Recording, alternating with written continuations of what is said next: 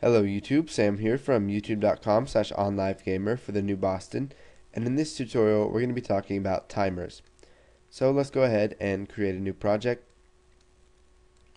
We'll go ahead and select Windows Forms application and we will set the name to timers.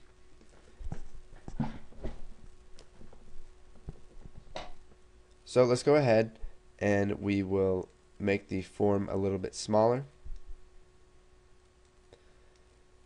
We will add a list box and two buttons. So here's our list box. We've got button 1 and button 2. So we'll just make this a little bit bigger. And now what we need to do is set the text of button 1 to start and the text of button 2 to stop.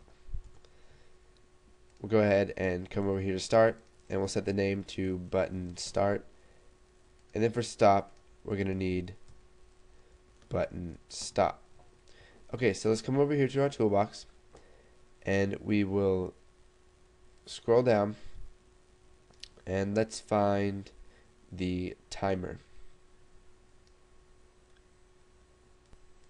so if you drop down your components um, submenu right here, you're going to go ahead and see the timer right here. So just like any of the dialogues, you don't need to drag it out onto your form because you cannot actually see it.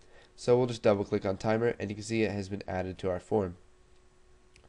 So let's go ahead and click on timer, come over here to the lightning bolt, and we'll just double click on tick. So what the tick does is it's every time the timer ticks and you can set the properties of this and set the interval. So this is milliseconds. So 100 milliseconds is a tenth of a second. Let's just set our interval to 5000 milliseconds, which is 5 seconds. So every time the timer ticks, let's go ahead and add a number to the, to the list box. So we'll go ahead and do private um, number as integer, and we'll set it equal to 0. So whenever it ticks, we'll, we will add it to the list box. So listbox1 dot items dot add and we will add number. And let's go ahead and just add one to number. So it's going to add it to the list box and then increment it by one. Now five seconds is going to take a pretty long time so let's just go ahead and shrink this down to uh, one second. So we've got one second uh, 1000 milliseconds. Now we'll double click on the button start click and whenever they click start we want to go ahead and start the timer. So we'll just type timer1 dot start. So it's going to start ticking the timer. And whenever they click stop, let's go ahead and stop the timer. So timer1 dot stop. So let's go ahead and run this. And if we click start, we wait a second and 0 shows up. One, two, three, and this is happening at intervals of one second. Now if we did all of this at once and added them all at the same time, it would be almost instantaneous. But since we are pausing, well not really pausing, we're using a timer and every time that ticks we're adding.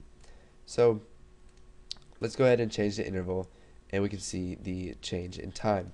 So let's change it to 5000 milliseconds. We'll go ahead and click start and you can see we wait 5 seconds and 0 shows up and if we wait another 5 seconds the 1's going to show up. So go ahead and uh, practice with timers. They are very useful. You put the code that you want to run in during each tick and then you can have um, certain actions start and stop your timer. So go ahead and practice with those and once you got those down go ahead and move on to the next tutorial